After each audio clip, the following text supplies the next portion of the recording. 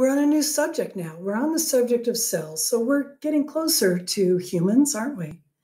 Um, as far as uh, scientists have been able to even imagine or theorize, we believe that every form of life that we might run into in the universe would be found in the form of cells. And why is that? Well, let me give you an analogy.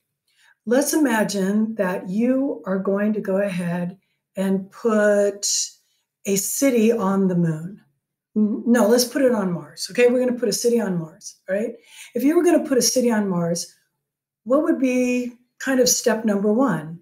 You probably would put like a great big dome on some part of Mars so that you could fill that dome up with oxygen and keep that area warm enough with enough oxygen for humans to live in your city, right? And why would you do that? Why would you not just, hey, let's just warm up all of Mars? Well, it's too hard to warm up an entire planet. So you would probably go up there and put up a dome. Well, putting up a dome is like creating a cell membrane, and everything on the inside would be the living cell, and everything on the outside would be just the uh, environment. So here on planet Earth, if you want to be a living cell, you want to be something tiny so you can control what's inside of you. You don't want to try to organize and control all of planet Earth or all of the Pacific Ocean.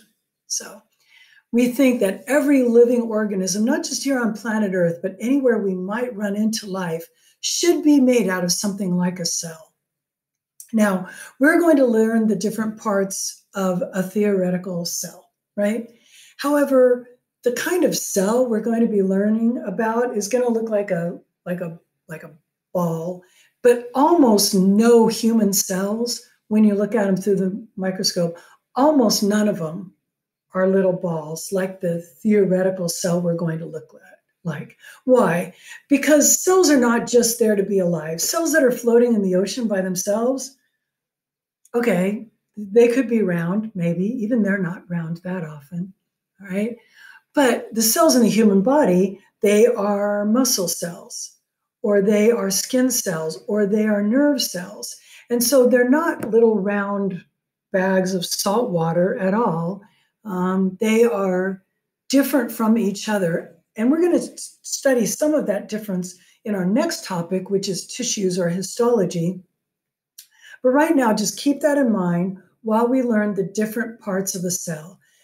Out of the different things that we're going to learn about, not every cell has every one of these little parts of a cell that are called organelles.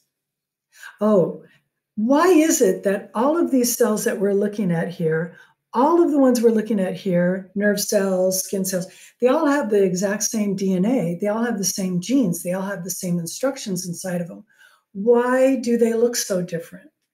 And that's because different cells will use different parts of the library of instructions that are your genes.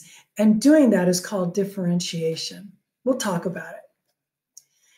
Now, whenever I think about human cells, I think that our human cells are like really busy factories, not just factories, but like factory complexes on Mars. Okay?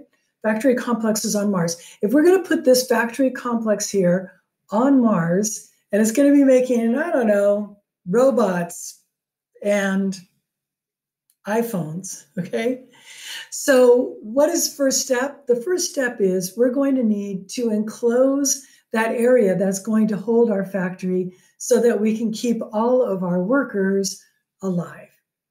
Now, the dome that surrounds the living part of a cell is known as the plasma membrane or the cell membrane. We're not going to distinguish between the two plasma membrane or cell membrane.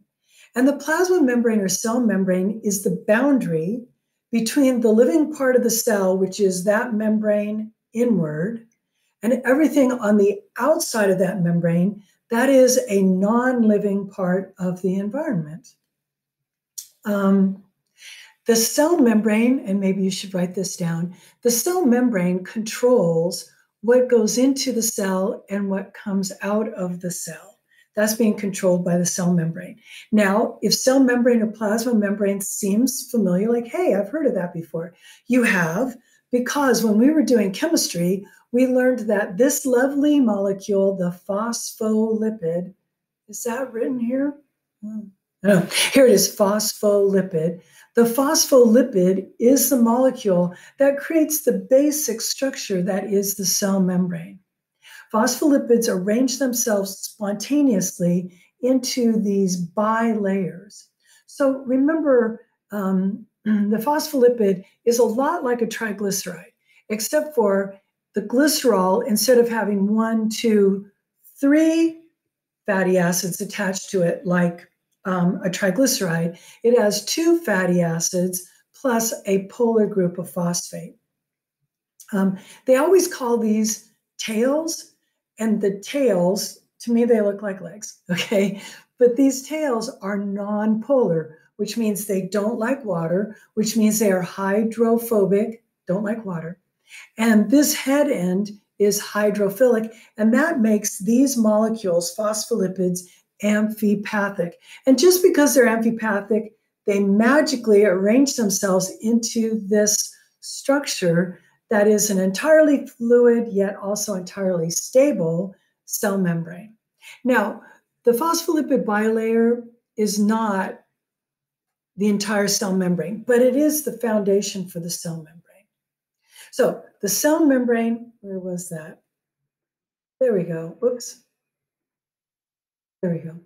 The cell membrane controls the movement of materials into and out of the cell.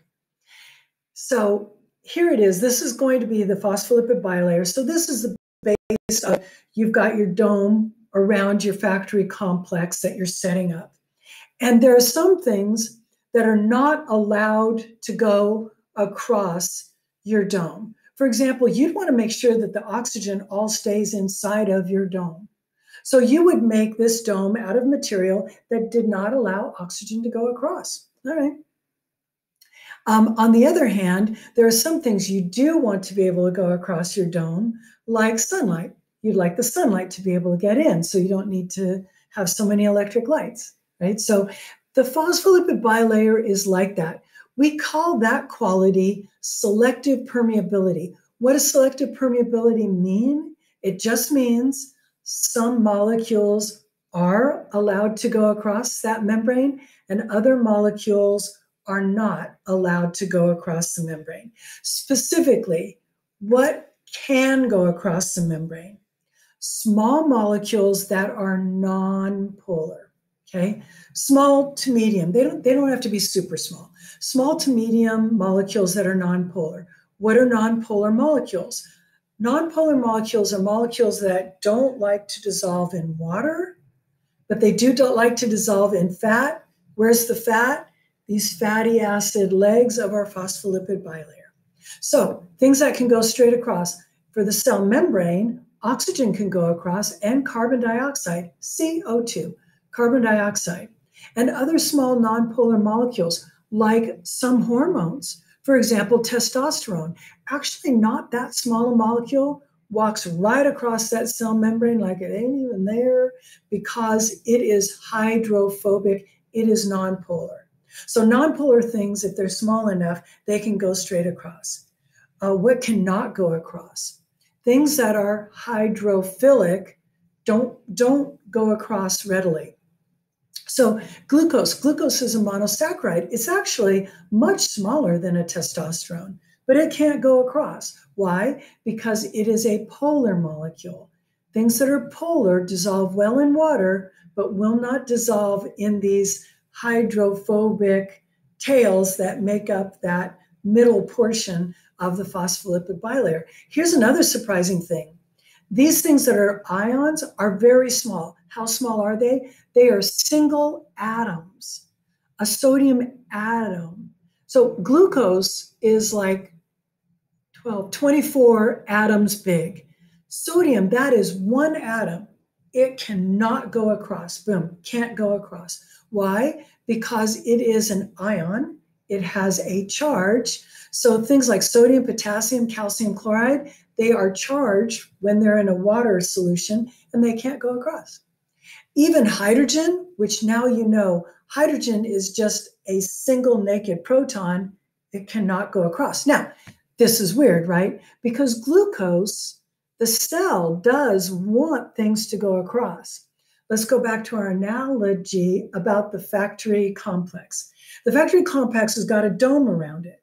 But there are some things that can go, across the dome, like sunlight, some things that can't, like oxygen. But hey, we need to get people into it and we need to bring cargoes of raw materials into the factory complex. And we need to be able to take cargoes of finished product out of the factory complex. So, what are we going to do? We're going to put in doors. We're going to put in special doors into our dome on Mars in the factory complex. Those special doors in the cell membrane are made out of proteins. We haven't talked too much about proteins yet, but you should already know I'm a fanatic about proteins. I hate it when they get drawn as lumps because they're not lumps, they're tunnels and machines, and they're incredible things. So these particular little proteins that are found in the phospholipid bilayer, a lot of them are special doors. Some will allow only glucose to go through. Some will allow larger things to go through. Some will only allow sodium and potassium to go across. All right. So the starting point for the cell membrane is the phospholipid bilayer. But on top of that, there are lots of proteins, actually, many more than this, embedded in it to allow the cell membrane to control what goes in and what goes out through the use of these proteins. Right? We will talk about this subject more in the next video.